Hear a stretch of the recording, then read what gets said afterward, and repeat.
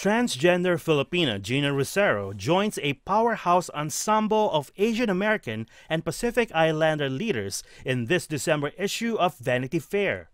This historic spread also includes CNN's award winning journalist Lisa Ling, former editor in chief of Allure magazine Michelle Lee, Crazy Rich Asians director John M. Chu, actor Daniel Dae Kim, Marvel's Shang-Chi director Destin Daniel Cretton, and Academy President Janet Yang.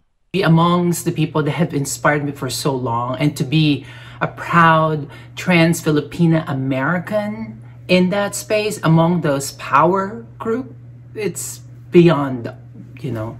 The finished product is a powerful representation of united AAPI leaders who are making their marks in various fields. I cried when I first saw it. In, in that first um, uh, sight of that picture, it just took me by surprise how powerful it was. I personally never thought that I'll see the light of day where I get to be fully seen as I am. This elite group of leaders and influencers are part of Gold House, an API movement with a conscious initiative to unite, represent, and ensure the success of the AAPI community by representation in media to reshape public opinion. Gold House helps unite um, AAPI when it comes to their stories being told, whether it's in, in movies or TVs.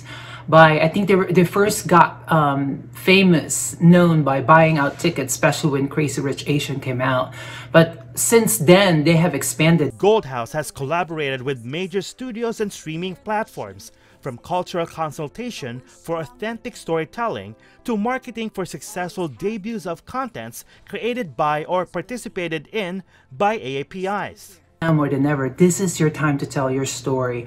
As a proud Filipino, as a proud Philippine American immigrant, we come from a long history and a long there's so many stories that needs you know to be told and now is the time because when we own the spotlight show how far we can go, take the stage, and tell our own stories.